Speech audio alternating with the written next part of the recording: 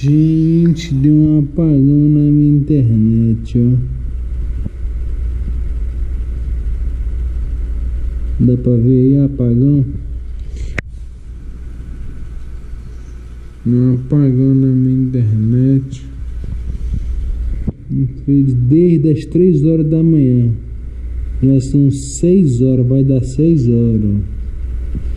E desde as 3 horas da manhã até 6, já são 3 horas sem internet hoje. Putz, e trabalho de madrugada sem internet fica difícil, né, brother?